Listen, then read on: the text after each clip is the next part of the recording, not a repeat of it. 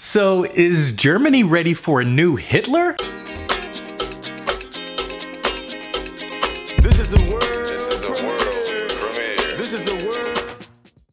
Hey y'all, welcome back for some more food for thought. So we are continuing with review week. So before we jump in, I'm gonna get down in the comments section and share something from uh, one of my favorite regular viewers, Bruce Webb. So Bruce is commenting on my review of Afghanistan, The Great Game. Guys, ask yourself where capitalism was born and primarily developed. That's right. First Britain, then Western Europe, then North America. So, of course, you had the British Empire run things until they couldn't anymore. Think World War I, World War II. Then the US Empire picks up the baton as the sole industrial survivor post World War II, after Europe bombed themselves back into the Stone Age.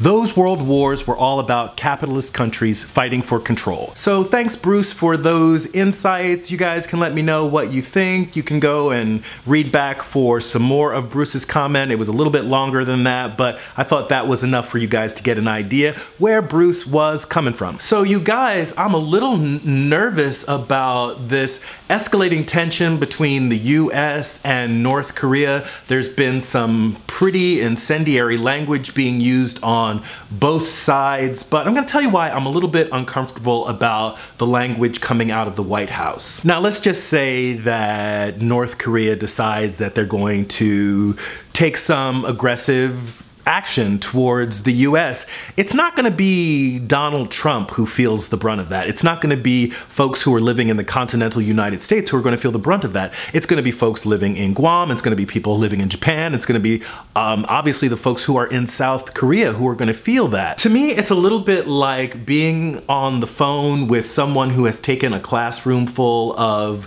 kids hostage and then antagonizing them. You know you're safe. You're just on the phone talking, right? But the kids in that room are in real danger. And I think that's a little bit more of the attitude that Donald Trump and his administration and the US in general need to take. Again, I don't know what you think. So Er ist wieder da or Look Who's Back is the American title of this 2015 German film about the return of Adolf Hitler to a modern Germany. So the film is by German filmmaker David Wnendt based on the best-selling novel by Timur Vermes. So the film imagines Adolf Hitler as he was at the time of his death being basically dropped into a modern Germany. What might he think of the Germany that exists today and what might modern Germans think of him? So the film features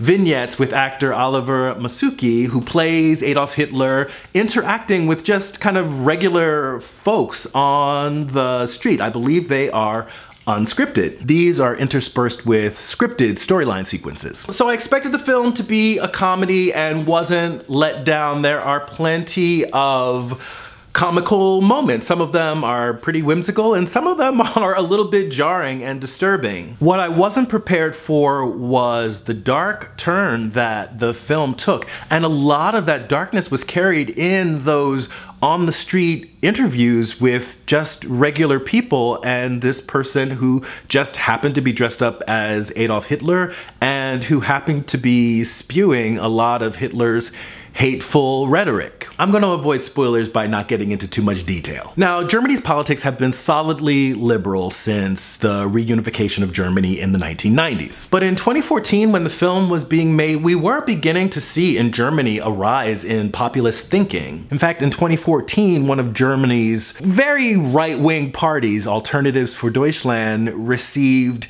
16% of the national vote. Now, some say this was due to the fact that the Chancellor, Angela Merkel, invited a lot of Muslim immigrants into the country and was part of helping to get some other countries like Greece back on their feet. Now, popularity of Alternatives for Deutschland has dwindled in the past few years, but it's not to say that they couldn't see another surge in popularity, especially after the election of Donald Trump here in the US. So some vegans might get a kick out of this film when they introduced like vegan Nazis, which is pretty hilarious until you think of the fact that we have our own Nazi vegans who are part of the YouTube vegan community. Anyway, I highly recommend the film Er ist wieder da or Look Who's Back. I found it on Netflix, but you may be able to find it on Amazon or through some other channels. And be sure to come back and let me know what you think in the comments section below. That's it for this video. Like it if you like it, share,